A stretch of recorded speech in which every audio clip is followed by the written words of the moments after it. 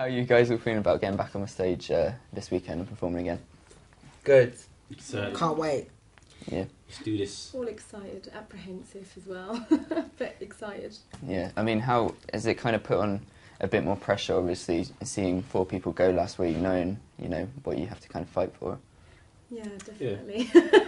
but you know, you we know. Thanks for reminding us. yeah, but we know. Go do what you gotta do. Yeah, I mean, it must be so hard, like keeping your nerves in control. I mean, do you have any kind of techniques for for getting over? I don't know. Me personally, I try not to think about, you know, just try to just flow with it a bit, not too overthink it. Yeah, I was trying to imagine that like I'm not in a competition, that I'm performing at a festival, or do you know what I mean? Yeah. That's kind of the only way you can get through it and keep it soulful. Because if you start thinking about it all TV and people gonna vote, you kind of become a shell of your former self.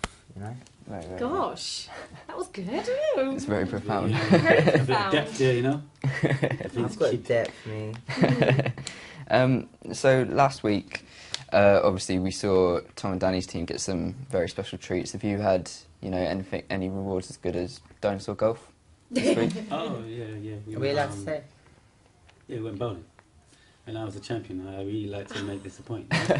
And I was absolutely crap. I came I last. was, I was there with Vince as well. We were pants, to be fair. Becky was really good, right, Beck? Becky. I came Yeah. second. Becky was really good, and Cassius was. third. I think it was luck with Cassius actually. don't know. yeah, yeah.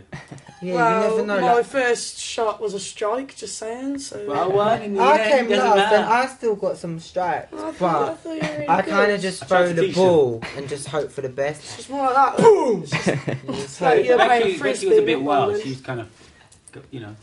Was I think, I think she was a bit just going for it, not really Shut Well, up, Becky- technically Shut knowing up. what I had a she's doing. strike, bro. I had a few strikes. Becky's quite an erratic character, I, was, I had loads of and she strikes. kind of like took You had a that few, to, I had loads. to the Good from um, you. You were, bowling. mate. Your ball went to the other lane. Your ball didn't even stay in the right lane.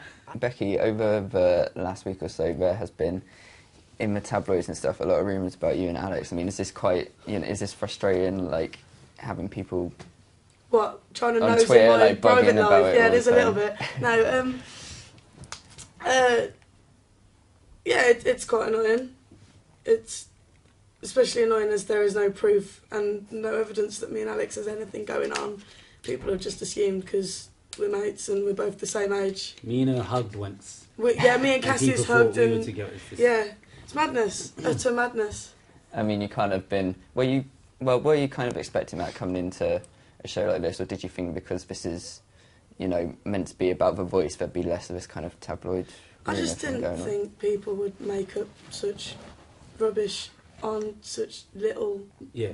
evidence. I can't, no, you know I what kind of expected it. I think the tabloids are so course you do. on. The tabloids are so on these shows. Um, I don't really understand why, because you know there's so many other things you could be writing about. Exactly. So At the same things. time, it's cool. It's nice that there's a lot of hype around these shows and people want to know more about you. yeah It's a cool thing. There is something else I've got to ask. Obviously, I mean, there has.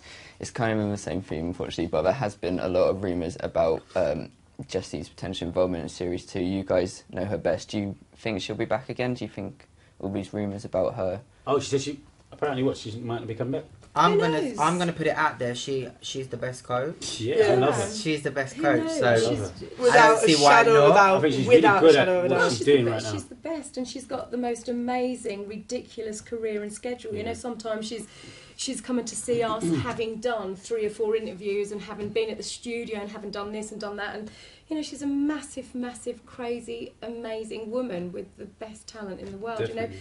Who knows if she chooses to be there, then she'll be there. It's it's I would, about like, what she wants. I would like to actually see it from another angle, like actually watch her next season myself, how she does it, because obviously we're in it. Yeah. It'd be nice to be the outside, just looking in and how she. So me personally, I would like her to come back. Me personally.